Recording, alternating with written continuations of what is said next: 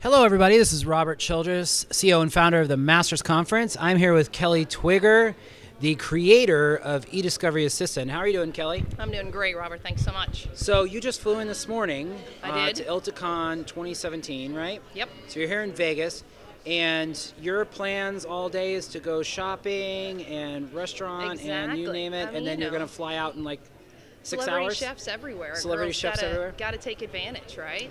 So no, apparently you are so busy. You flew in this morning. Yep. You've got meetings all day, and then you're leaving tonight. Uh, I am. I'm leaving later tonight after the Women in eDiscovery ACEDS event. Gotcha. Okay. And I would assume all your meetings are around eDiscovery Assistant and talking about that product. Many of them are. I'm, I've got a couple of roles here. So um, we created. Well, so I am the principal of ESI Attorneys, which is an e-discovery law firm.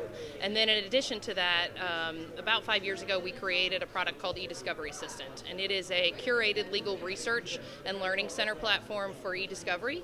So basically, for lawyers and legal support professionals who need to stay up to date on e-discovery happenings, whether it's changes in technology, thought processes in project management, what the case law is, what the rule changes are. So eDiscovery Assistant is really a it's an online uh, software that specializes in e-discovery. Yeah. So what I really like about it is, is my experience. Obviously, you know, is in legal publishing, and so I worked for LexisNexis for years. You know, showing these types of products. And would it? Would you say it's fair to say that it, eDiscovery Assistant is an online treatise on steroids? Like it is the eDiscovery expert research product that's out there in the space. Like if you're in this space, this is the kind of product you need. You know, that's what we've tried. That's what we're working to make it. It really is. Is that we want this to be the one place you come to get answers quickly? Because my experience in working as an e-discovery attorney, as discovery counsel for our clients, is that I need questions, I need answers to them quickly. So, you know, our case law database is all tagged by issues. So, you know, if you need to find cases on Facebook and authentication, you find them in three clicks instead of in 10 hours. So, you know, I could do the same research on Westlaw, but it's going to take me 10 to 12 hours, and I might not get as good of results because our case law team, all they do is curate and tag our cases um, in e-discovery. So our our database is is 6,000 cases of e-discovery decisions. Well, so let's go a step further because when I was at Lexis uh, in 1993, at the point when we were first starting out, uh, we had a thing that was a phone that sat there, and attorneys could call up if they had questions on certain cases or anything that we had done. Uh, now, I, I'm, that might be something they offer, but I don't see it as a lead. Like they're like, "Hey, give me a call. We'll work through this case with you." So with your product, though, I've spoken with you in the past, and this is something that people can engage with you on if they have questions. Is that Oh, is that a absolutely. fair statement? Yeah, Okay. absolutely.